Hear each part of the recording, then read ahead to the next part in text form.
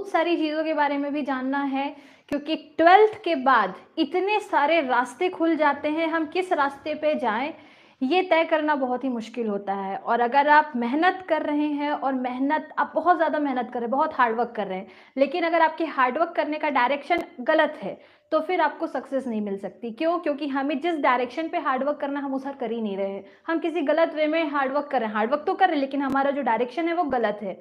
तो सबसे पहले आपको अपने आप से, अपने अंदर खुद को ये जानना चाहिए कि आपको किस चीज़ में इंटरेस्ट है? कौन से फ़ील्ड में आपको इंटरेस्ट है? आपको क्या अच्छा लगता है?